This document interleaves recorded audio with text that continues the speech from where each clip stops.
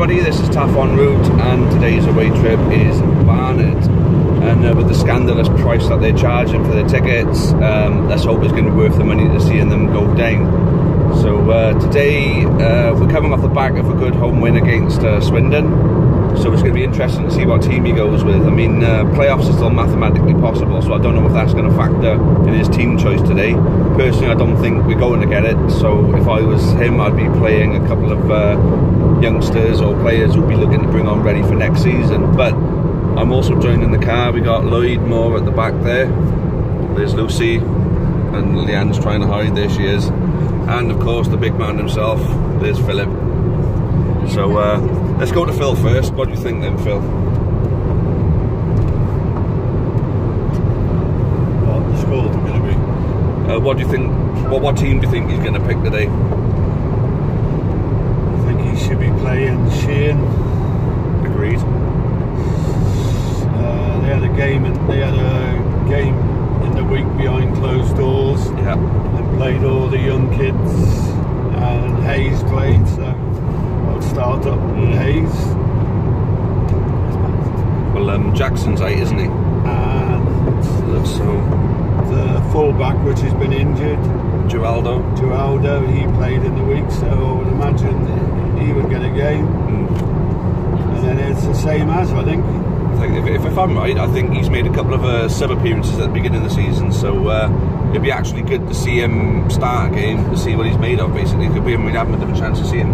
Yeah, the friend is he was very impressive. Mm. Uh, got that injury, but yeah, uh, yeah, you've got to be planning for next year now. He's got Absolutely. To, he's got it on his mind what he's going to be keeping and who's going. And yeah, probably the people today who he's keeping could be playing. Yeah, well, I think that. I mean, do you think you'd be taking in, into account that we mathematically still still can make the playoffs? Uh, yeah, it's still it's still there. It's ninety nine percent that we ain't gonna do it, but it's still there. But we need a miracle. Mm. But we've already done a miracle last year, didn't we? Yeah. Would have thought we'd done that.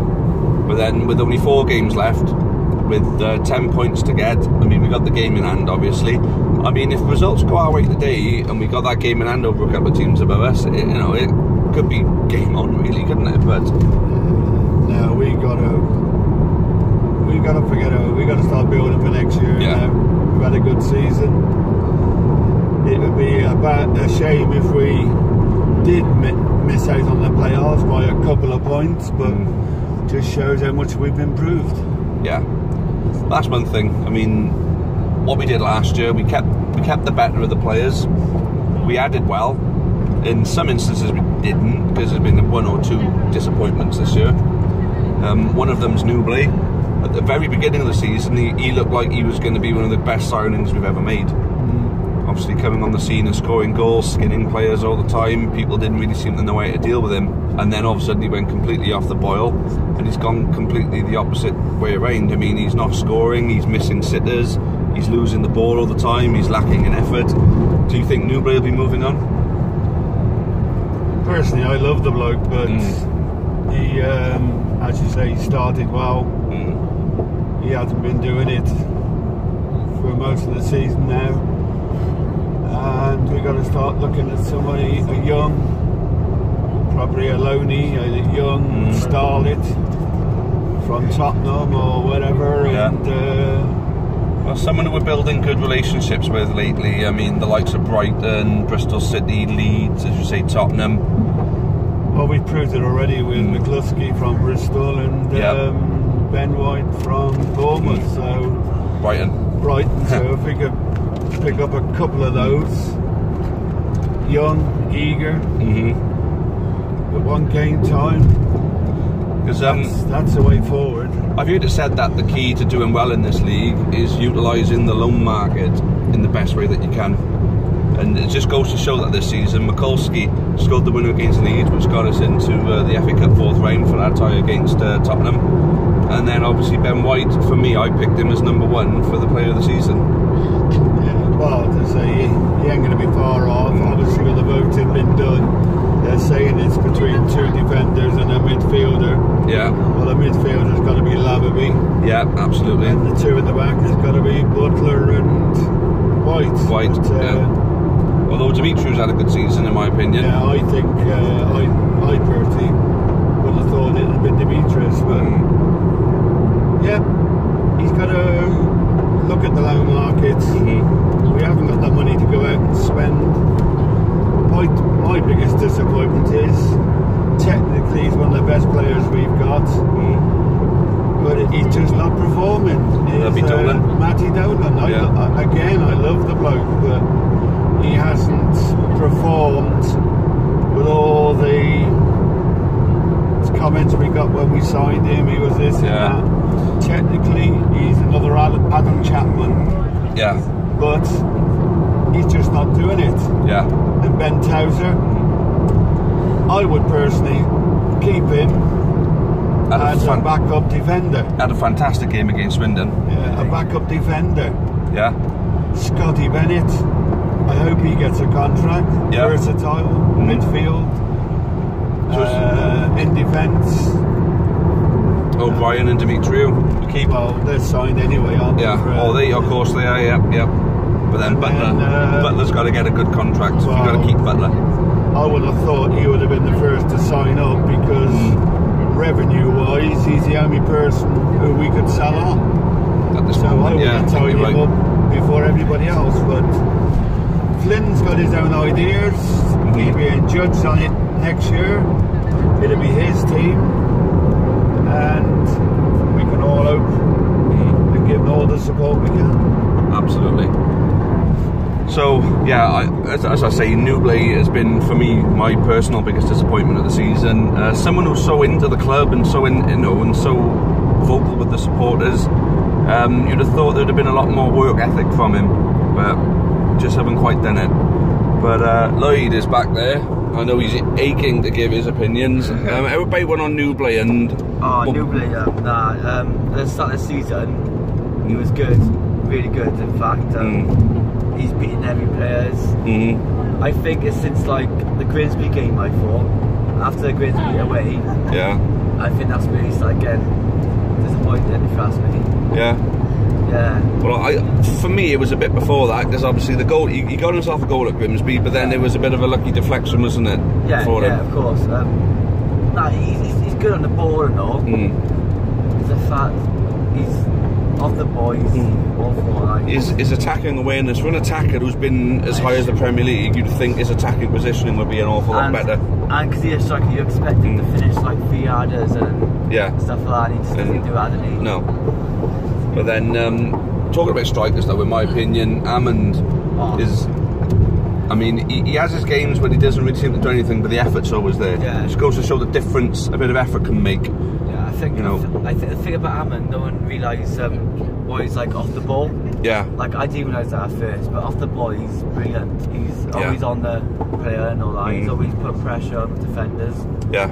and um, he's good. He's good on the ball. and He's good holding the ball, hmm and also he bunks in the net. So Well, that's it. I mean, putting the ball in the net. I mean, Flynn has gone on record to say that he's looking for a 20 goal a season striker. It's funny, funny enough, we're going to Barnet today, and if they go down, what's the availability of John Akinde going to be? I mean, is his contract up at the end of the season? That's something I'm going to have to have a little it look depends into. on other offers, though, innit? But apparently, Nouble is on the biggest contract at the club at the moment. Right? If Nouble is moving on, and we put a little bit of our FA Cup money into the playing budget, will will it mean that we'll have the money to sign a John Akinde then? Yeah, of course. Yeah. Um, I can't see Nouble moving up though. I, I, I think he's a confidence player, if you ask me. I think I think I don't think we'll keep him. He's on a one-year contract. His contract is up.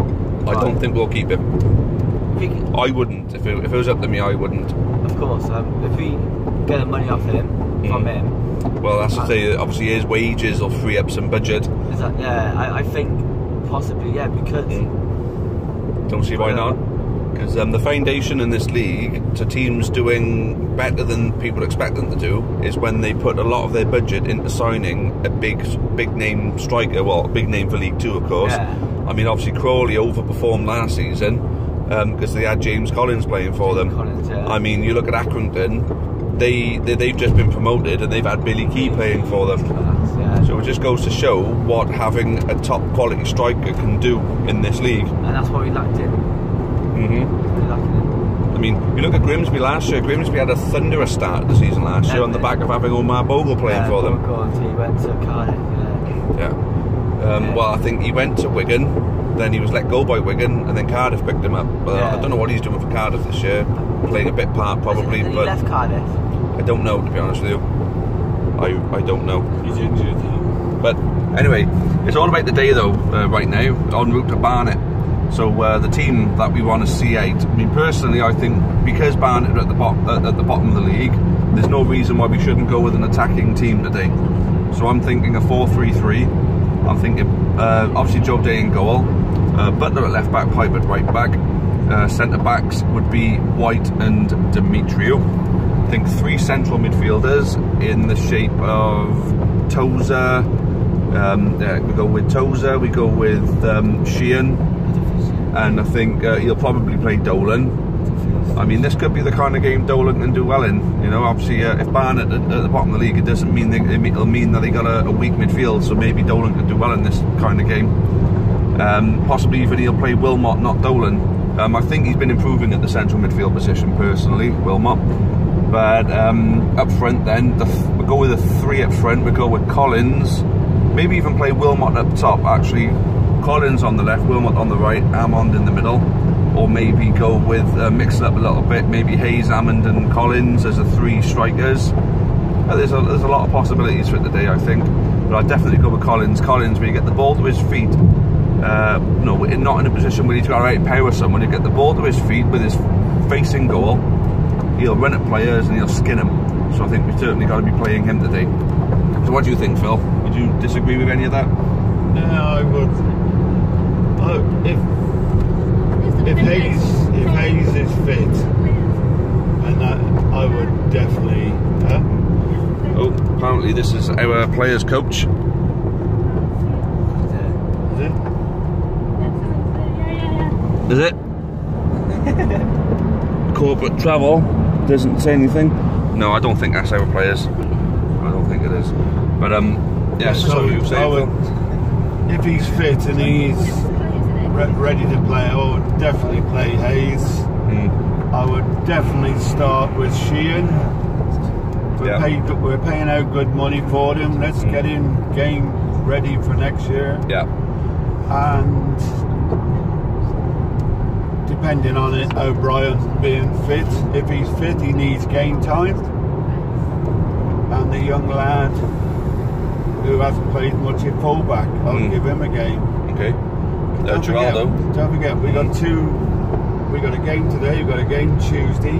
Mm. We got a game Saturday. And then we got a game.